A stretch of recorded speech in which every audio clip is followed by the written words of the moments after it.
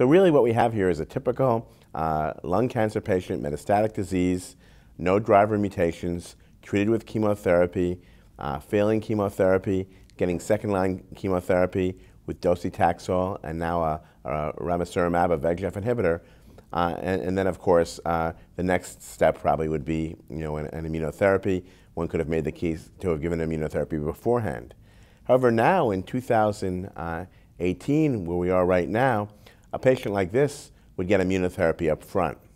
Based on the data from the Keynote 189 trial, if I were seeing this patient in my clinic today, uh, I would give this patient uh, chemotherapy uh, with uh, pembrolizumab.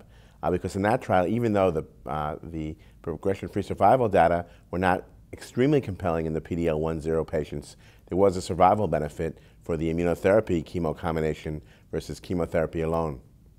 And it's my opinion that immunotherapy should be given to all patients who qualify because immunotherapy will have the opportunity to produce uh, uh, a more durable and, and lasting uh, survival in patients.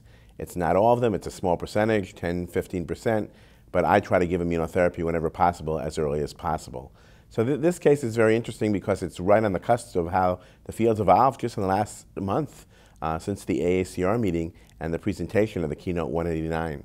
Uh, even though uh, one could have used chemotherapy, uh, carboplatin, pemetrexed, pembrolizumab in the setting, few were doing it because of the data being all based on a phase two trial of 120 plus patients.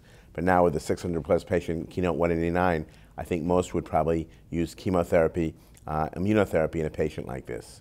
Um, but, um, but again, the, the, it shows how the field's evolving and how new data are constantly uh, reaching us in the clinic Uh, through programs like this, for example, and people are now evolving in how they treat these patients.